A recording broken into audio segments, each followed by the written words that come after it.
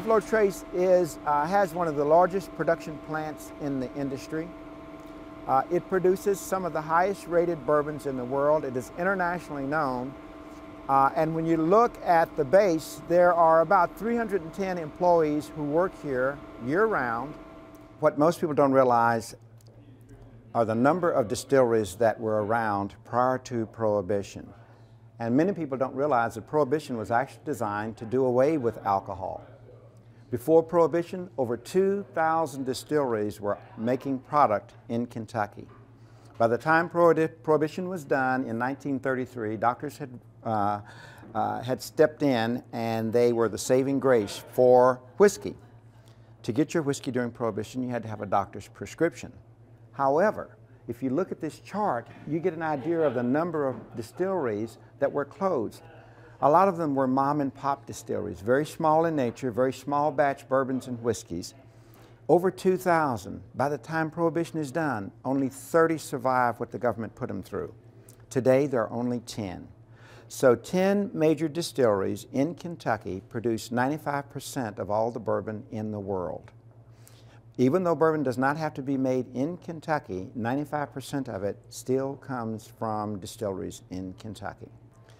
To get your whiskey during Prohibition required a doctor's prescription. One of those would get you one of these every 10 days. You were allowed three pint bottles a month with your doctor's prescription. An epidemic broke out. Every member of the family got sick. Even the babies needed it for their gums while they were teething. By the time Prohibition was done in 1933, doctors had written over 6 million prescriptions just for whiskey. And in states that allow it, the 21st Amendment allowed states to control the distribution of whiskey. So, in states like Kentucky, it became privately owned, and that's how drugstores are able to sell whiskey and alcoholic beverages today. In other states, they are state controlled, and the state basically retains all the revenues associated with the product. This gives you an idea of the type of um, political atmosphere that existed back during the time of Prohibition. So as you can see here on this bottle of whiskey, in order for it to be sold, uh, it had to be distributed through a drugstore, the apothecary, and it had to carry the label that it was for medicinal purposes only. It was during this period of time that uh, Al Capone and Eliot Ness exploded in the market. Because of this restriction and the elimination of so many stills around the country, um, the underworld started to make their own product, and that became an entirely different nightmare for the government because instead of eliminating whiskey, it created a black market for whiskeys, alcoholic beverages, spirits, gins, uh, vodkas, all without the control of the government. And so a lot of money that would normally have been go going into the revenues or the coffers for the states and the federal government went directly into the hands of the underworld. When did that stop, or has it? Uh, Uh, legally, uh, uh, prohibition ended in 1933, and supposedly the formal product came back into existence. However, moonshiners are still in existence today, as we all know, and uh, some of them brag about the fact that they are still able to make their hooch the way they made it back in the good old days. Let's take a look over here. A lot of people don't realize the impact of the settlers on Kentucky. The original settlers coming in were fleeing the Whiskey Rebellion that was going on up in Pennsylvania. They were of Scottish, Irish, and Welsh descent. Notice the features.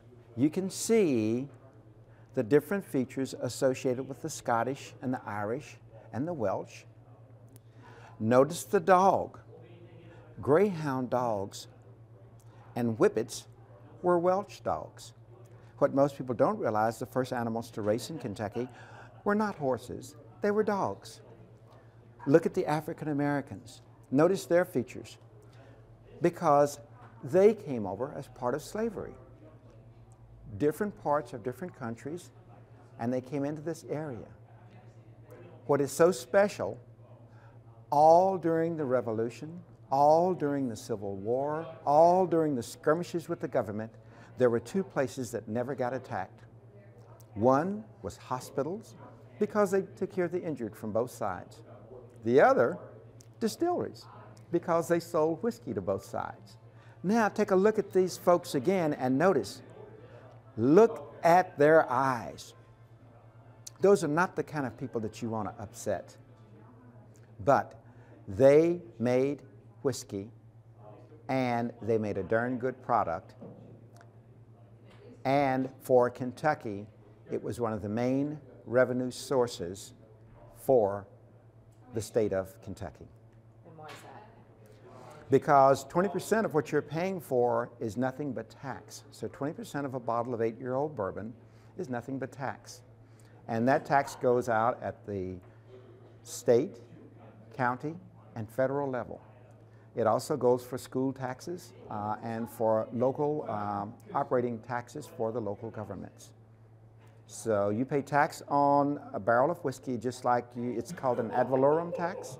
You pay that tax every year on every barrel of whiskey that you're storing in your warehouse. And for this distillery, at any one time, we are warehousing somewhere between a quarter of a million and 310,000 barrels of whiskey. I like to talk about this young man here. This is my father. I'm actually a third direct generation to be here. Uh, my grandfather was here for 52 years. Dad was here for 47 years. Uh, he was away from here for five years while it was in, uh, in the service in World War II. Uh, but in this picture, he is um, leak hunting. So one of the jobs at the distillery is to try to locate leaky barrels and repair them in place. The amazing part of him is he was the only living person to have personally handled every millionth barrel to have come through this distillery. Uh, and at 92 years old, he rolled out the six millionth barrel at Buffalo Trace Distillery. When was that? That was in May of 2008. Uh, he just recently passed away in January of this year. He lacked two weeks of being 95 years old. Had at least one shot of bourbon a day. At least one shot of bourbon a day. And your grandfather was in the business? My grandfather's in the business also. My grandfather and Colonel Blanton were personal friends. Uh, Colonel Blanton started here when he was 16 years old, and he and my, my grandfather had become friends away from the distillery. And when Colonel Blanton started to take over this distillery, he invited my grandfather to come work here. And he was one of the first African Americans to ever be uh, uh, taken to New York on a business trip to make decisions about whiskey and barrels of whiskey at this distillery. If I could, I would have loved to be able to do that.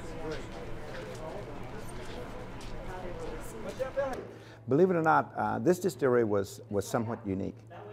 Um, not only um, like my, uh, my father as a, a warehouse supervisor, um, my grandfather uh, as a uh, operations supervisor, unheard of back in the day.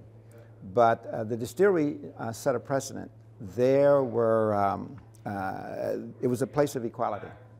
So what we found interesting was even though they had restrooms for the African Americans and other restrooms for the whites, the, the word was in the warehouse, if you've got to go, you got to go, and you go to the nearest warehouse, and everybody got along.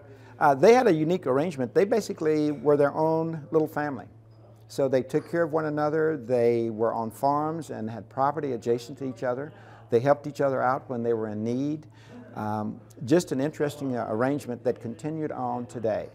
So for the city of Frankfort, the, uh, the distilleries around Frankfort um, uh, had a, uh, a, pretty much fair balance of, of whites and African Americans, um, and it was a very supportive community. So you very seldom ever even heard of a riff at a distillery. It was just not tolerated. Uh, everybody had their work to do, and everybody did their job.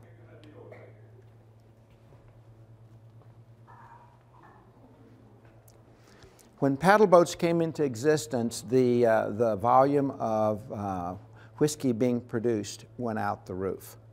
So with the expansion of Buffalo Trace, uh, this distillery became one of the largest production plants in the industry. And not only did the, did the whiskey go down the Kentucky, Ohio, and Mississippi River, with paddle boats they were able to go upstream in all directions. And at that point, the industry exploded.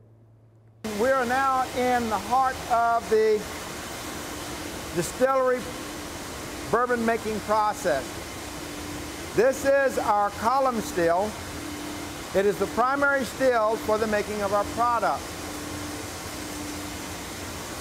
As I said, some people call them beer stills, some people call them column stills, some people call them continuously operating stills.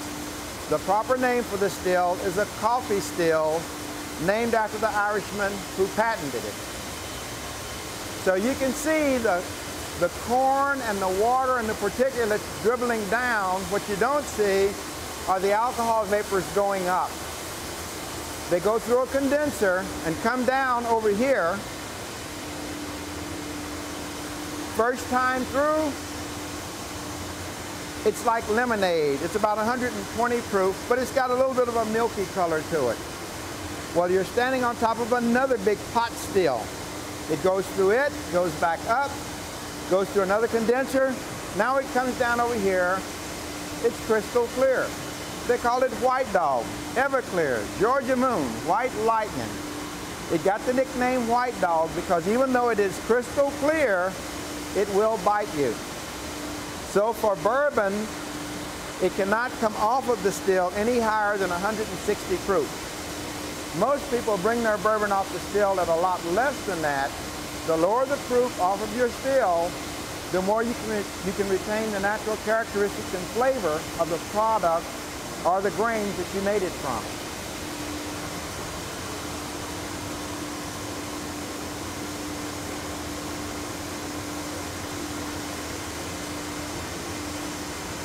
Here's the Buffalo Trace.